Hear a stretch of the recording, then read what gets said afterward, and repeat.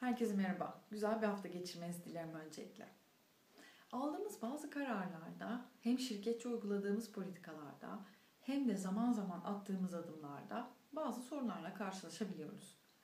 Problem çözme ve karar alma aşamalarında aslında problemi tanımlanmasıyla sürecimize başlıyoruz. Problemi tanımladıktan sonra ana ve kök nedenlerini ayırıyoruz problemimizi ve sonrasında da alternatif çözüm önerilerini değerlendirmeye çalışıyoruz. Bu değerlendirdiğimiz alternatif çözüm önerilerinde ise en iyi bulmaya çalışıyoruz. En iyi bulmaya çalıştığımızda aslında karşımıza çıkan karar ve uygulama aşamaları oluyor. Karar ve uygulama aşamalarıyla beraber amacımız sonuçların değerlendirilmesi oluyor. Aslında bence burada birazcık daha önemli bir aşamaya geliyoruz. Problemlerin tekrar ortaya çıkmasını önlememiz gerekiyor. Sizce de bunu birazcık daha konuşmamız lazım değil mi?